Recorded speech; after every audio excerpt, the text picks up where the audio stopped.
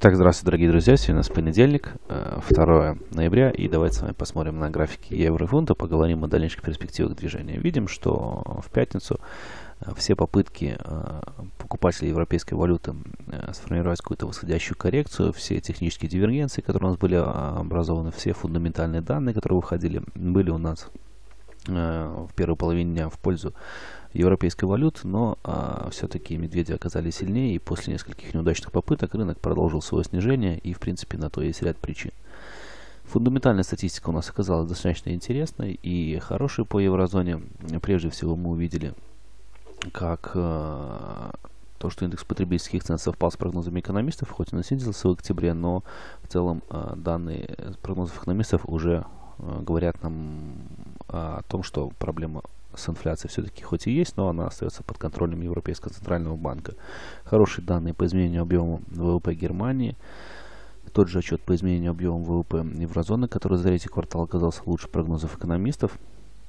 Uh, уровень безработицы ожидаемо чуть подрос, но uh, также не критично. Все это было на стороне у нас покупателей европейской валюты. И только во второй половине дня уже хорошие данные по основному индексу расходов на личное потребление, по уровню доходов и расходов американцев.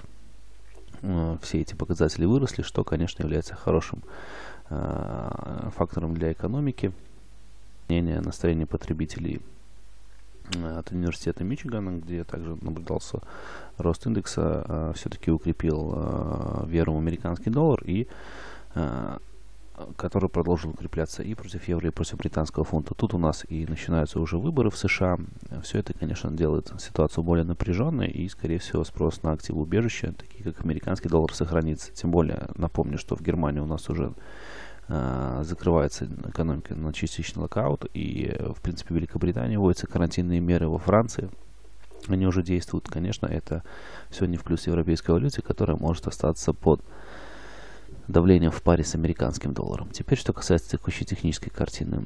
Есть у нас э, сопротивление 16.51. Если мы выбираемся, закрепляемся на этом уровне в первой половине дня сегодня, то восходящая коррекция может продолжиться, и мы останемся в боковом канале с сопротивлением 17.01. Отсюда можно продавать евро сразу на сколько с коррекцией 15-20 пунктов внутри дня. Если мы вновь формируем ложный пробой на 16.51, то это прямой сигнал к продажам. Идем мы на встречу 16-17 и затем выходим к уровню 15-85. Здесь можно уже посмотреть длинные позиции сразу на сколько а от уровня 16-17 лишь при формировании ложного пробоя. Что касается сегодняшней фундаментальной статистики, ходит у нас ряд отчетов по производственной сфере. Она, в принципе, а, как и в Европе, так и в США остается э, лидирующей по сравнению со сферой услуг и будет тянуть на себе в дальнейшем экономику в такое э, нелегкое время, когда идет вторая волна коронавируса. Поэтому смотрим на показатели по еврозоне в первой половине дня. Во второй половине дня выйдет аналогичный отчет производственного индекса СМ по США.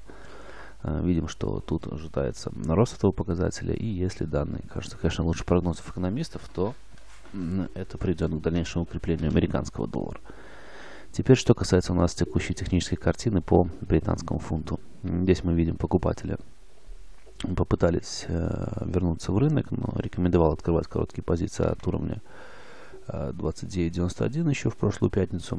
Два раза мы подходили к этой области и со второго раза все-таки получилась очень крупная распродажа. На текущий момент есть у нас э, поддержка 29.15. Если мы возвращаемся под этот диапазон, закрепляемся ниже, то скорее всего медведи погонят дальше пару уже на минимумы от 16 э, от 14 октября э, диапазон 28.65 при первом тесте также я думаю будет небольшой скок порядка 20-25 пунктов поэтому можно на это ориентироваться. Но пробой этого диапазона откроет прямую дорогу на 28.07 и 27.49 э, что касается у нас продаж в случае роста. Если мы формируем ложный пробой 29.15, то можно будет посмотреть покупки, но проблемы на 29.84 останутся. Здесь продажи при также обновлении, после обновления максимума прошлой пятницы возврата под этот диапазон, либо тогда в таком случае продажи на отскок от сопротивления 30.58. Всем удачи!